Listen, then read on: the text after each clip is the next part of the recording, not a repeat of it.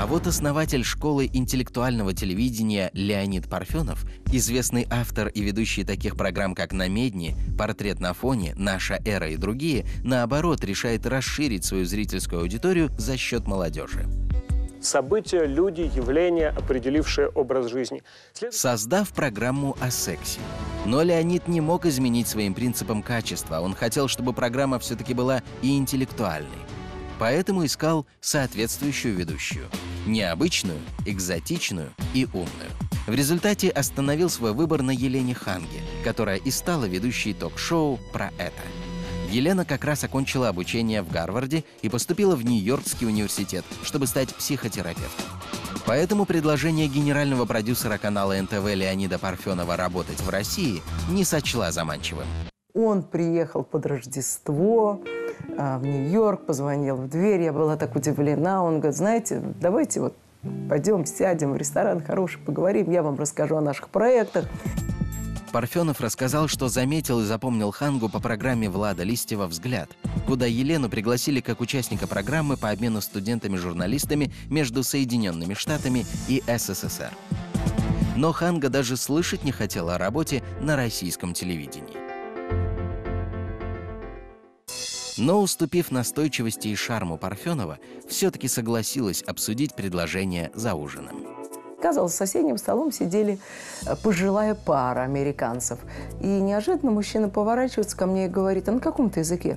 Я говорю, мы на русском. Да, он говорит, как интересно. Слушайте, говорит, я адвокат. Давайте я буду защищать сейчас ваши интересы. Так, молодой человек, вы теперь со мной разговариваете. Женя, вот моя визитка.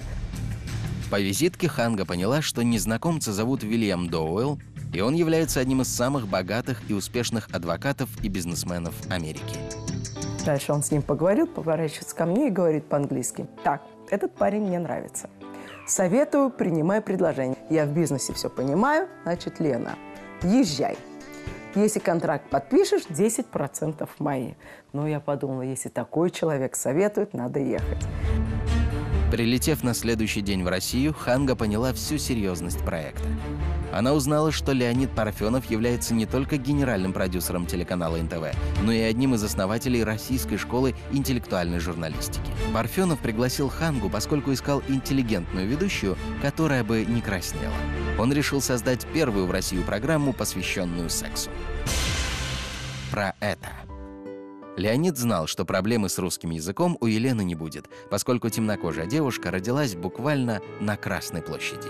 Мой папа мой родной папа Абдулла Касим он был премьер-министром Танзании, был приглашен на Красную площадь, если вы, может быть, помните, там ритуал был 1 мая, была демонстрация, и иностранные гости стояли рядом с мавзолеем, махали рукой.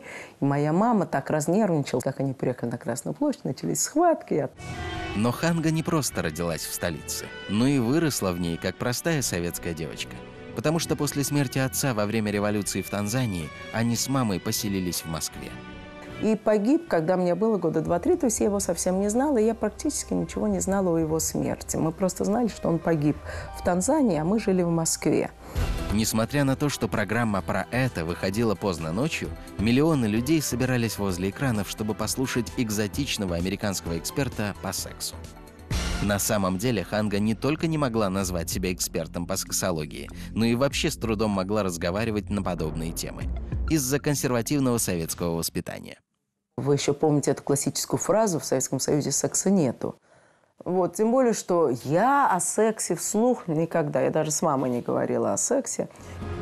Кроме темы программы, Елену шокировал и образ, придуманный для нее стилистами. Белый парик для контраста с цветом кожи и голубые контактные линзы, из-за которых Ханга теряла ориентацию при ходьбе и падала в студии.